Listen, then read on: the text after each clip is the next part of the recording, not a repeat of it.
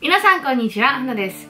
今日はですね、えっ、ー、と、ゆるっと雑談をしながらメイクをしていきたいと思います。それでは早速、行ってみましょう。はい、えっ、ー、と、もうすでにファンデーションとアイブロウは済ませてある状態から始めていきます。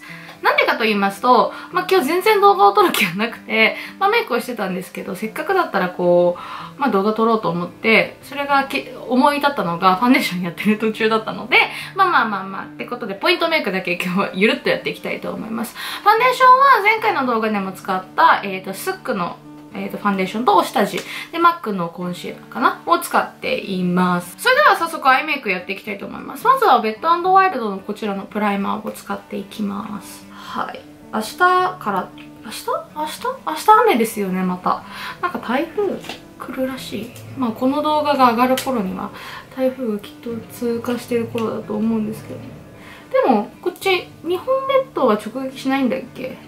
よく覚えてないですが朝こう寝ぼけながら ニュースを見てたので。はい。でも今日は割と暖かいらしく素晴らしいですね。こんな感じで適当にアイシャドウプライマーを塗ります。で、今日のアイシャドウはこちら、え、ー、と、マキアージュのドラマティックスタイリングアイズの BE303 というカラーですね。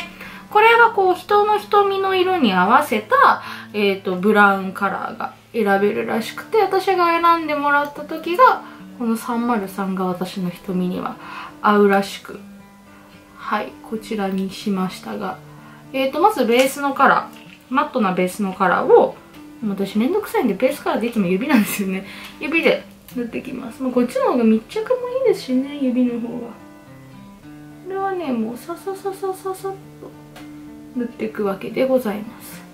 そしたらですね次はこの明るいカラーハイライトカラーなのかな。これも指に取ります。なんでかっていうとこれ割とラメがあるのでラメがあるこう明るいカラーはなんだろ指で塗ってあげた方が私は結構ラメ感が綺麗に出ると思っていてそう。であと密着もベースなので良くなるのでこれはいつも指で塗ります。はいそれでは次はこの真ん中のカラーをブラシに取って二重線幅ぐらいかな。このブラシじゃない方がよかったね。やってしまった。これだとちょっとふんわりしすぎてしかも結構幅広くのせられちゃうのでこっちにします。シグマだね。シグマの E55 です。でを取って二重線ぐらいかな。そう私そういえばネイルを変えたの。お気づきですか？可愛いでしょ？でもねすごいの。ここ見て。もうねこれネイルパーツとかじゃないんです。天然石がそのままがっつり、えっ、ー、と、ついております。私、料理するので、ちょ料理するときはだいぶ細心の注意を払いながら料理をしてるんですけれども、初めてこんなにこう、もりもりな感じになりました。でも可愛いのお。友達の彼女がネイリストさんやっててま、渋谷なんですけども、そうそう、私のインスタを見てくださってる方だったらね、よくその子、みくちゃんって言うんだけど、みくちゃんのこと私タグ付けしてるので、ネイルに。知ってるかもしれないんですけど、本当にね、みくちゃんセンスもいいし、早いの。これオフ込みでね、1時間半でね、パパパパパパパーってやってくれた。1時間半もかかってないぐらい早かったです。しかも可愛い。本当に。私ね、色しか伝えてないの、みくちゃんには。えっ、ー、と、赤っぽい茶色とグリーン使って、あと適当にやってください、みたいな感じでお願いしたら、もう、さささささささっとやってくれました。本当に可愛いしね、本当にセンスがある、いい子なんです、みくちゃん。ぜひ気になる方は行ってみてください。私一押しのネイリストさ今までいろんな方にネイルやってもらっていたんですけど一番好きよ。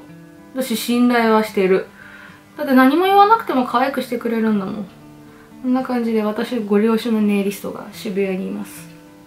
はい。よいしょ。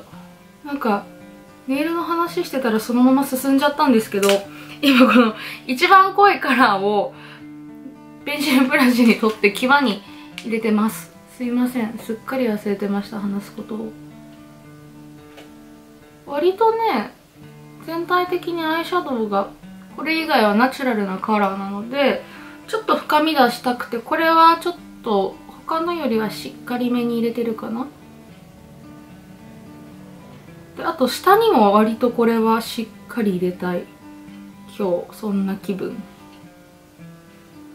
私下にこう色が重い感じの色が来るのがすごい好きでなんかなんだろう一気にこれで深くなるというかミステリアスな雰囲気になる気がして下に濃い色。結構幅広めにがっつり入れると。そうよく好きでこういう入れ方はやりますね。はい。これでアイシャドウ完成でアイライナーいきましょうか。アイライナーはよく最近私の動画で登場しているエクセルのカラーラスティングジェルライナーのクランベリーというカラーを使っていきます。よいしょ。これを際アイライナーやるときってどうしても黙っちゃいますよね。アイライナーとあとマスカラかな？は黙る。何も話せない。よいしょ。こんな感じです。それであとはこれね。リキッドはサバンヌリッチセラムアイライナーヴィンテージブラウンというこれも赤みがかったブラウンなんですけどもこれをどうしよう。際さらに細くいく？あんま跳ね上げたくないんだよね今日は。でもちょっとだけ。ほんのちょこっとだけ跳ね上げるというか若干出しました。若干ねあんまりこう今日はアイメイクを主張したくなくてというのは安定の赤リップだからです。なんか赤リップで跳ね上げも可愛いんですけどなんかちょっと最近それだと私にか私にとってはちょっとトゥーマッチかなみたいな。年齢もあるし。全然やるんですけどね。でもなんかちょっと最近は気分じゃないのでそんなにがっつり跳ね上げず赤リップいこうかなと。ただ逆にちょっと下が足りないので下このクランベリーを際入れてちょっとビューファインダーでやりますね。際に入れる。あいいねいいね。際に入れて指でぼかす。うんうんうん。これぐらい重いの好き。で結構こう暗い色とか黒とかを入れるよりちょっと赤みがあるので赤みがあった方がこう下に入れるのには女性っぽくなっていいかなと思いました。はい。でここでまつげなんですけど久しぶりにビューラーを出してきました。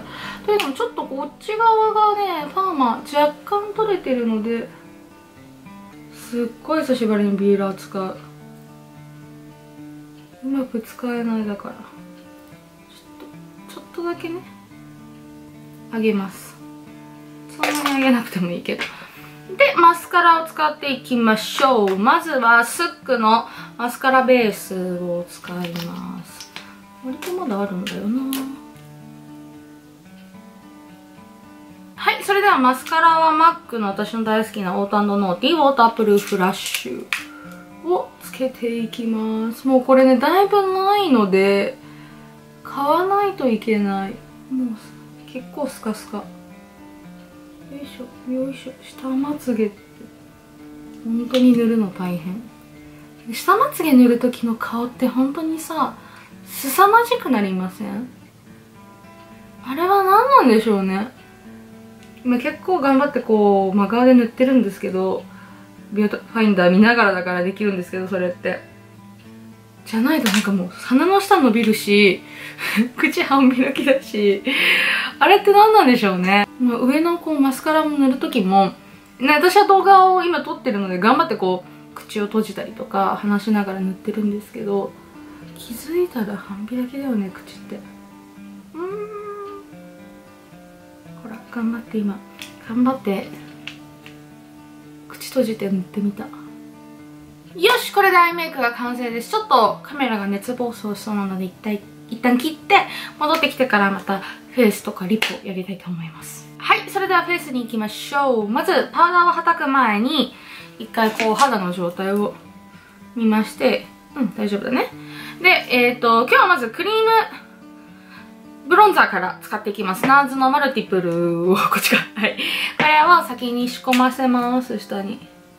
取りすぎちゃったん。で、こっちにもお裾分けをしてあげて、今日はね、クリームとパウダーの2種類でいきます。結構こう、かっちりとした感じに仕上げたいので、まあアイメイクはそこまでかっちりじゃないんですけども、お肌とか、なんかこう、リップとかで、かっちりとした雰囲気を作りたいので、ブロンザーも2個使いして、ちょっと深みとかを出したら、出せたらいいなって思ってる次第でございますね。こんな感じ。よし。で、ちょっと若干お花がもうこの時点でテカってるので一、回押さえます。あ。いいね。よしそうしたらじゃあどうしようかな。これいこう3のシマリンググローディオのえーとハイライトの方。これね。これこれこれ。ハイライトの方だけをまずは仕込ませます。お花も。おお間違えちゃった。色ある方取っちた。こっちも仕込ませます。うん。そしたらですね、ここで軽くお粉をします。お粉は今日 MAC のミネラライズスキンフィニッシュナチュラルのミディアム。を使っていくんですけれども、あんまり、え、ー、と、パウダーをここでたくさん叩きたくないので、本当に軽く崩れやすいところと、あとまあよれやすいところ。私はよくね、頬杖がつくので、ここを軽くこうやってはたいちゃって、これでお粉は終わりです。そして次はパウダーブロンザーいきます。えっ、ー、と、エルフのクールブロンザーを使うんですけど、これ4色混ぜます。私は白を多めに混ぜた方が、ちょっといい感じがする、感じがするので、どんな感じかわからないんですけど、ちょっと白を多めに取って、上からさらに、この頬骨の下をね、意識するようにがっつり入れるとサイズ違うでしょ？こっちの方がよりこうシャープに見えるというか深みが出ます。正面こう向いた時にね。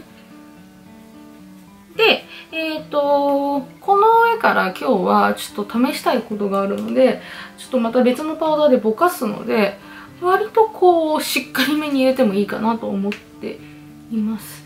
ここね私友達のね子供に昨日引っかかれてねちょっとちょっと傷があるんですよ。気になる？カメラ上で。気にならないんだったらいいんですけど。引っかかれたの昨日。抱っこしてたらガッて「りんちゃん!」って言って。いあれしたんですけれども。まあそんな話でした。はいでえー、っとチークをいこうかな。チークはおしチークブラシがここにある。えー、っとアディクションのノアですね。最近よく登場するノアちゃんをブラシに取って余分な粉を落として、えー、もうだいぶブロンザーをしっかり入れてるのでチークは本当にその上からグラデーションをかける感じ。ブロンザーからこううまい具合になんだろうグラデーションが作れる感じにさっと入れるだけで OK これ逆に入れすぎちゃうと多分茶色茶色しててあんま顔色がよく見えないし逆にこうこけて見えるというか、まあ、こけて見えたいんですけどね。ちょっとあんま健康的ではない感じがするのでさっとグラデーションを作ってあげるだけでここは OK そしたらですね、今日試したかったのがこちらなんです。ゲランのメテオリットビールの2番。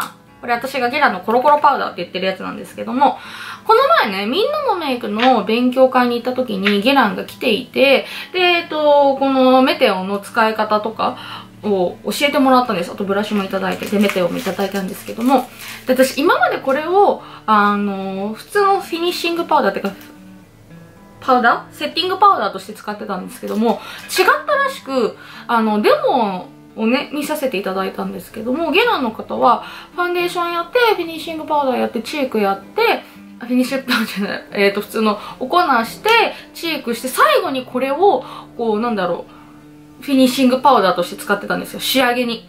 で、あ、こういう使い方なんだっていうのを学んできたので、ちょっとね、これを一緒に使っ、皆さんと使っていきたいと思います。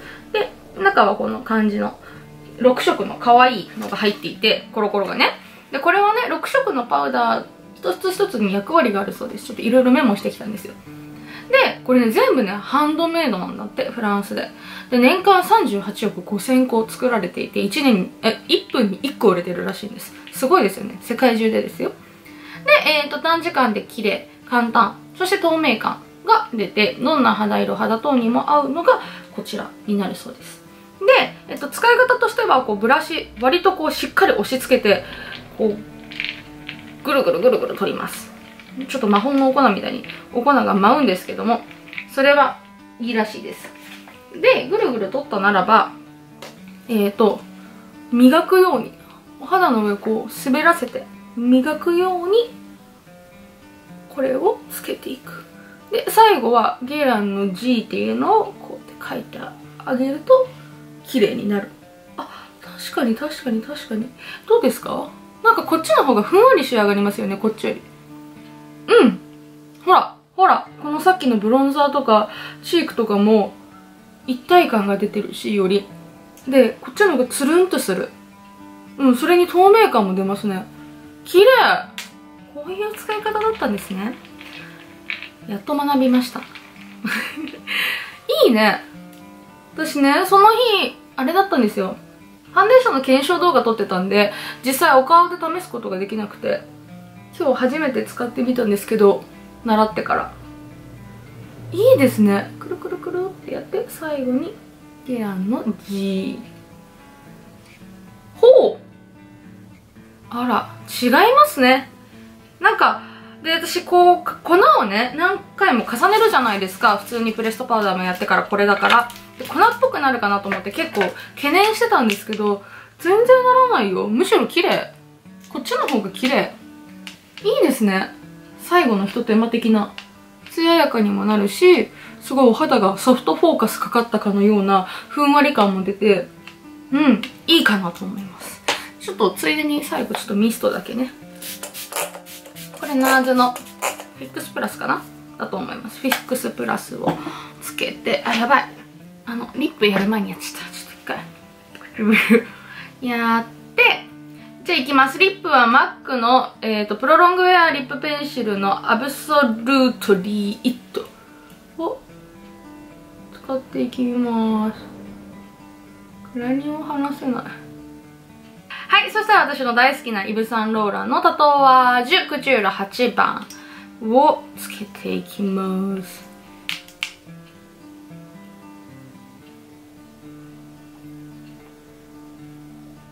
上で完成です。こんな感じが今日のメイクになります。いかがでしたでしょうか？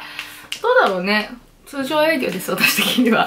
はい。でもやっぱお肌が綺麗。すっごく綺麗になったなっていうのは分かりますね。いやーゲランのパウダー。コロコロパウダー。ちょっと前より好きになりそう。前も十分大好きだったんですけども、改めてこうやってちゃんとした使い方を学ぶと、ずっと鏡見ちゃうぐらい、なんか、うっとりするお肌が本当に綺麗あのー、さらにね、こう、使い方を知ったので、またまた、どんどんどんどん好きになりそうな予感がしています。まあ、そんな感じで長々となりましたが、最後までご覧いただきありがとうございました。また次回の更新になりましょう。バイバイ。